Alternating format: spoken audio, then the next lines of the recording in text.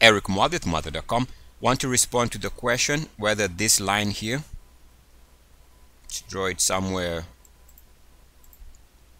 So from here, the question is whether this is positive divergence. In other words, I'm assuming this here. Now, of course, it is not positive divergence because positive divergence is this example where we have an improvement in prices, excuse me, an improvement in the RSI while prices were testing the lows. So that is positive divergence. An improvement in the technicals while prices either make fresh lows or retest. So that is positive divergence. Also, we can see another example here where we test the lows again, but during the test of those lows, we have another improvement, or let's even say the RSI stays the same. So the RSI doesn't make fresh lows. We can also consider that to be positive divergence. So again, Positive divergence is when we have a test of the lows while the RSI either improves or the RSI stays about the same. So that is by definition positive divergence.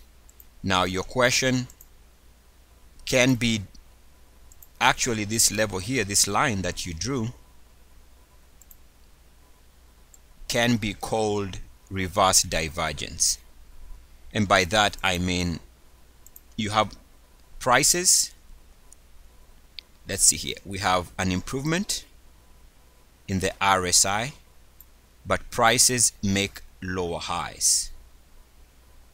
So this is a little bit of a different take where the RSI improves while prices make lower highs. That is what is generally called reverse divergence.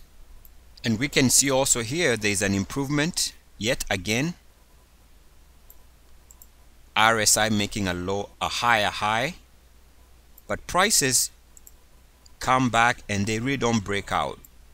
So this shallow pullback here corresponds with lower monthly closing highs or the same monthly closing highs while the RSI was showing an improvement.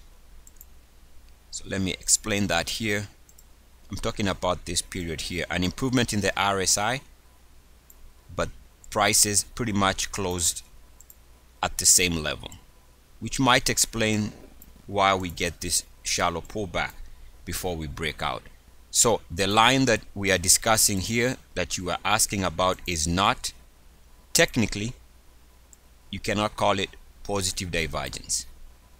What you can call this line is reverse divergence line and you can learn about this just by doing a simple Google search. Frankly the names really of what the lines can be called or should be called should be relevant because as long as we understand what they are trying to suggest then it doesn't matter what names we give these lines. The names are just there for convenience. Now I would like to draw the same line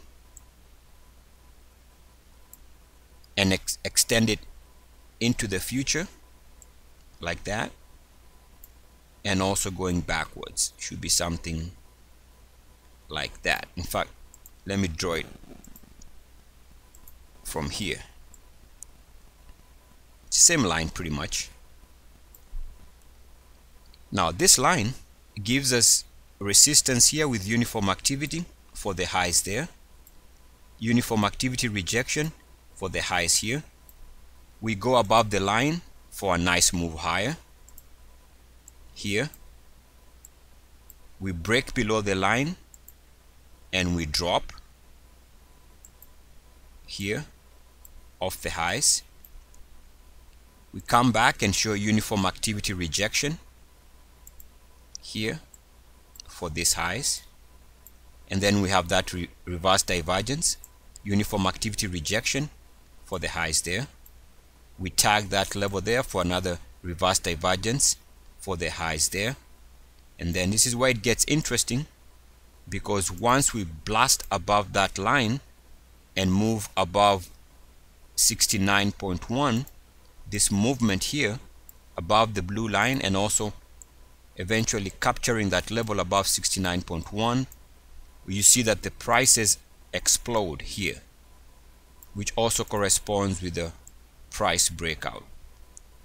And as we discussed in the prior video this also meets the minimum requirements with the RSI breaking out to three-year highs MACDs moving to three-year highs also which is why we see this explosion in price since then and in fact we tested that same blue line here.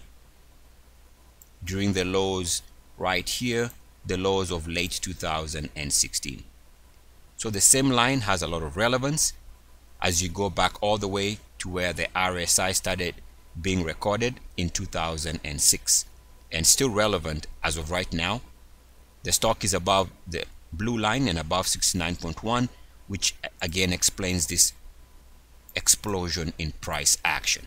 So to go back to your initial question the line here that we are discussing cannot be called negative or positive divergence line. I think the best way to call it would be reverse divergence. And again the names of the lines really don't make shouldn't be a problem or should not really be a bother. What we call them is irrelevant. It's just that we should be able to interpret and use the line to tell us what to do and we can see that this same line one single line gave us good entries and exits either on hindsight or even if you one use this in real life real trading. Otherwise i'm gonna stop right there. Eric as always good luck peace and blessings. E i see